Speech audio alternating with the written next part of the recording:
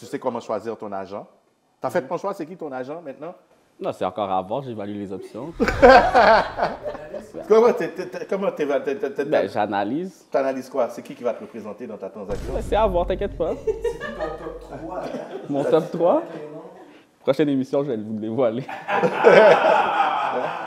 Ouais, ben tu sais-tu que ton père, il fait de l'immeuble aussi? Ouais, c'est ce que j'ai entendu. C'est ce que tu as entendu? Yeah. C'est pas un sideline, rien? là? Non, non, non. Good, OK. Non, mais là, tu as pris la décision d'acheter. Tout de suite, il y a une chose qu'on va arrêter. On ne va pas parler de taux d'intérêt. On ne va pas parler de ça. C'est une décision. Tu sais c'est quoi le marché, tu sais.